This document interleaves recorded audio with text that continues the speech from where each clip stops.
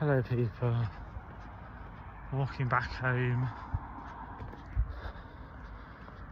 And I thought I'd do a YouTube video. Consciousness. I want to do a video about consciousness. what is consciousness? Consciousness. The awareness within all things that makes us who we are.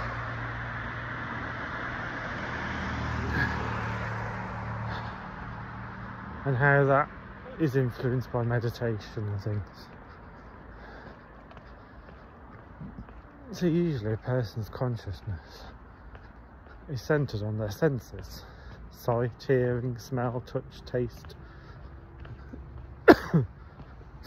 but a yogi or yogini learns to disconnect the senses. Uh, I'll give you an example.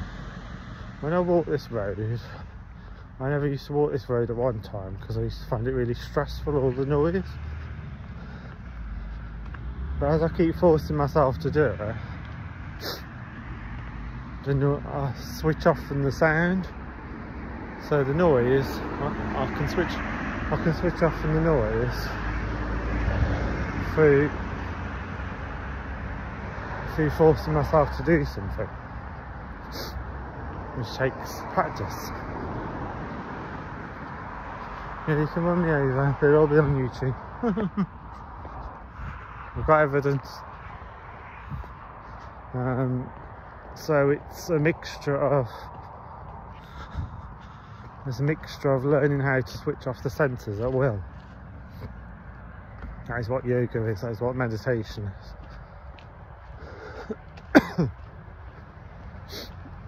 a person that has mastered it can master all the senses.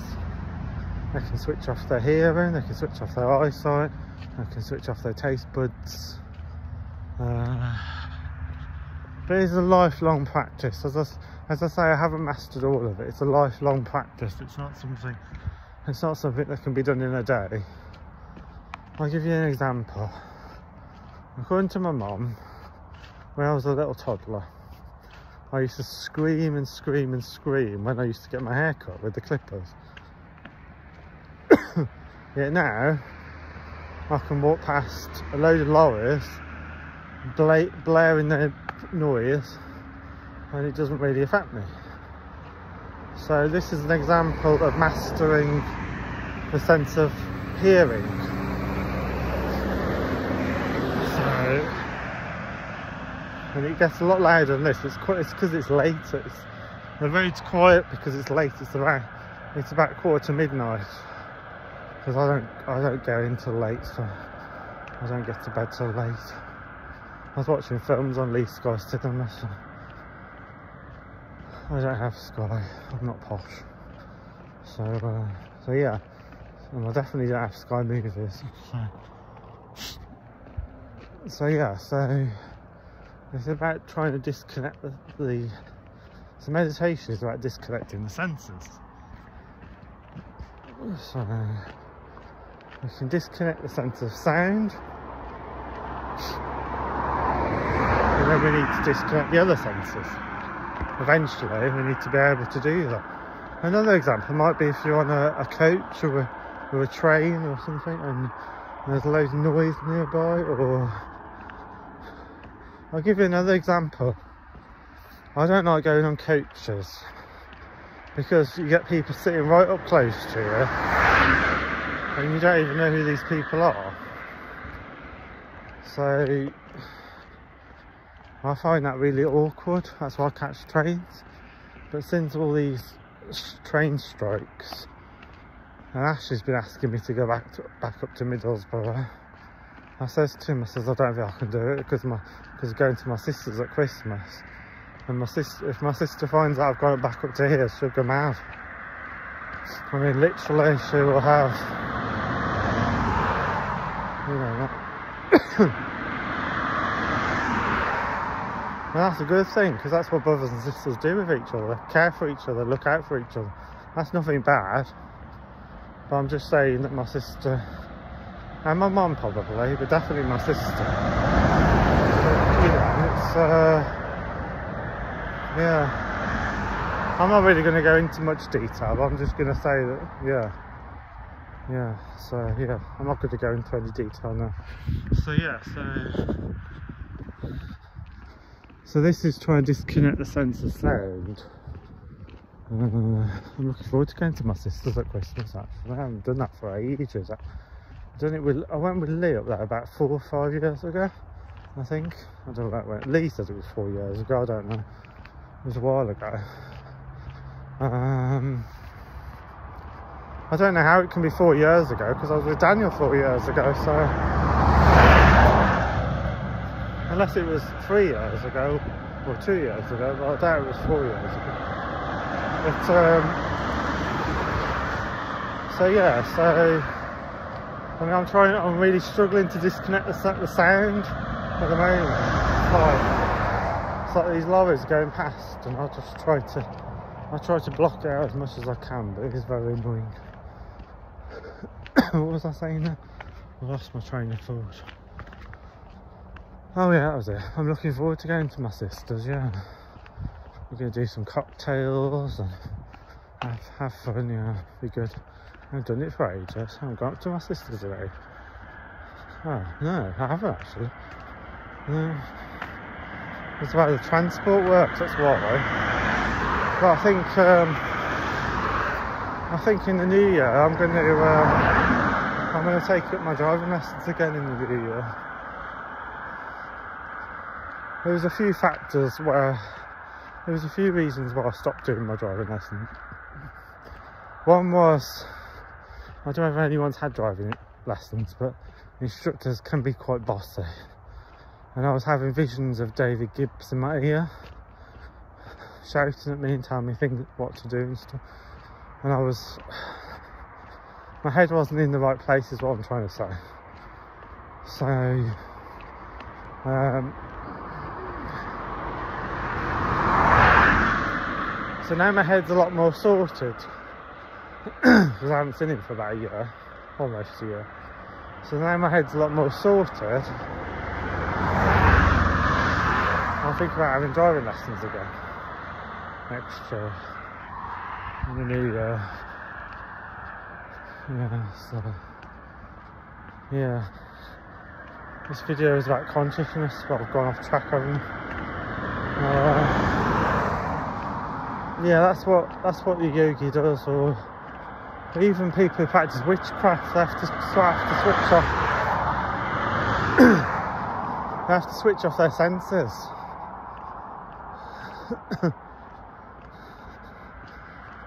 Witchcraft is a form of meditation. It's a form of evolution. It's a form it's a form of empowerment. Basically, you're waking up parts of your mind which may have never been woken up before. Well, no, it wouldn't have been woken up before because you wouldn't have woken up before. But that's what witchcraft is, the same as meditation, it's waking up parts of the mind. oh, this is what I mean about this road, I can hardly hear myself think. So, it's about waking up parts of the mind which which lie dormant. Uh, if the mind, if those parts of the mind can be woken up, then that can empower, power, that can empower yourself. See, the mind has a lot of occult centres. It has a lot of hidden powers within the mind and witchcraft and meditation and pranayama are all methods of unlocking those parts of the mind. So, yeah, that's what it's about. It's about unlocking those parts of the mind. Hmm. When you see people doing extraordinary things, It's because they've unlocked they've unlocked those parts of their mind. This is why religions like voodoo was created so that people could have power. So that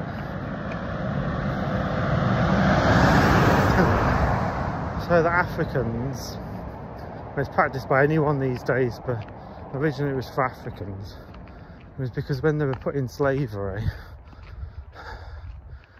the African religion decided many, many, many years ago a method of empowering those people. I said, hang on a minute, this shouldn't be right. Why should white people take all our power away from us? This is why the religion of voodoo was created. Voodoo is a form of witchcraft. It is a way of unlocking parts of the mind which remain dormant, which remain asleep, if you wake up those parts of the mind, there's no telling what you can do. Because it's never been verified scientifically. The scientists aren't interested in unlocking the mind. They're more interested in making more money or they're more interested in travelling further into space or, or creating new technology. But they're not interested in... Oh, yeah, but they're not interested they're not interested in, in unlocking the very source of all those inventions. If you want real power, you have to go back to the source and find a way to unlock the source. If you want pure if you want pure power, you have to unlock the source and unlock and unlocking the source can only be can only be done through meditation, through prayer, through mantras, through incantations, through witchcraft, through lighting candles. Even just lighting a candle, you're awakening parts of your mind because because fire Fire is a mystical symbol which gives life to everything. So even just lighting a candle, you're unlocking. Even just lighting a candle, you're unlocking a part, a part of your mind which was, which was closed off.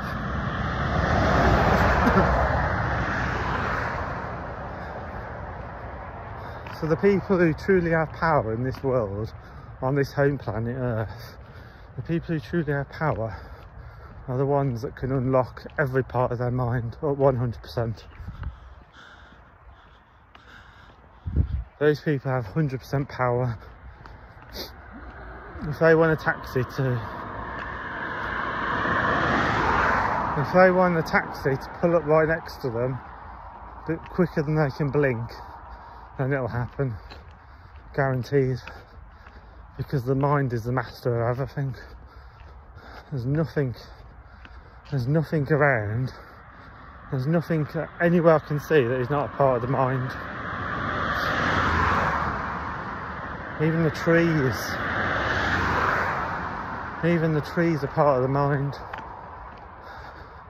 Maybe not your mind, but the higher mind of God. Everything, everything come out of the mind. And when I say your mind, I mean the outer layer of the mind. God is in the centre of the mind. I'm not trying to say that there's two separate beings between a, a human and, a, and God. They're the same thing. It's just your consciousness is on the surface of, of your mind. God, God is in the inner mind. Remember, we're travelling from the outer universe, the human to the inner universe. God. That's where we're trying to get to. With all these practices, all these rituals, that's where we're trying to get to. We're trying to go from outer space to inner space. Look at the God self of it all. Everything. Everyone. All animals all people, all trees, all bushes, everything. Everything is part of God. All of creation is in the consciousness of God. It's all there. It's all there waiting to be. It's all there waiting to be a, ma a masterpiece. It's all there waiting for someone to create a masterpiece out of it. Everything, it's all waiting for self-expression. Life cannot be contained. Life cannot be contained. It can't be stopped. Like the North Pole and the South Pole can't be stopped from melting. Neither can life be stopped.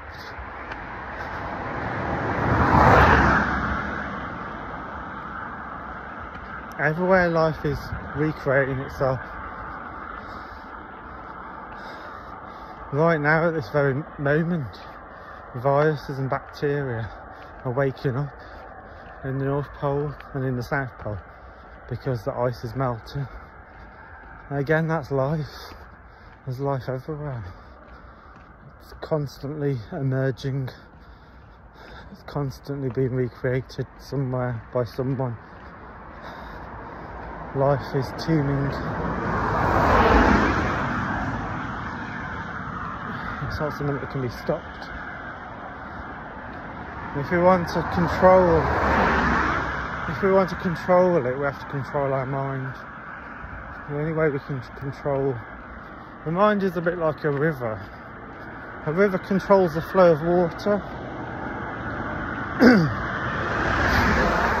a disciplined mind controls the flow of life. So in other words, in other words, if a very strong-minded person was to catch an illness, they would shake it off within no time at all. Whereas a weak-minded person would be struck down by the illness. This is why I say the mind is like a river, a channel for water to flow back to the ocean. It can't be stopped.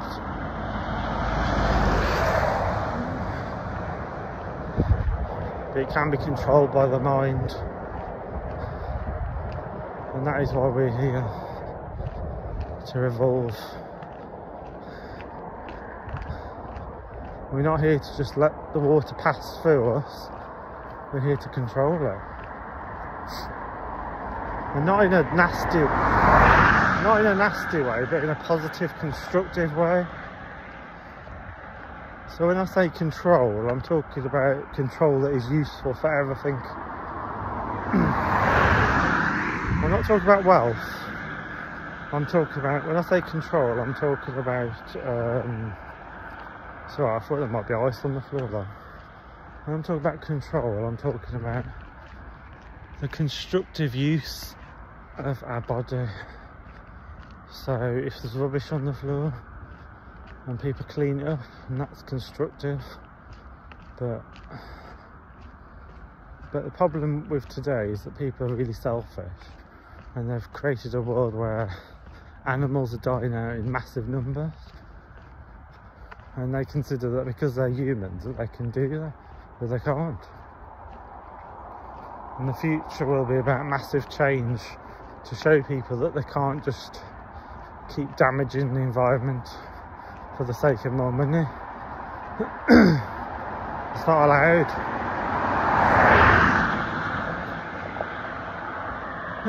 anyway, I'm boring everyone to death, so I'm going to stop talking now. I'm nearly back anyway by the Robin Hood. So, yeah.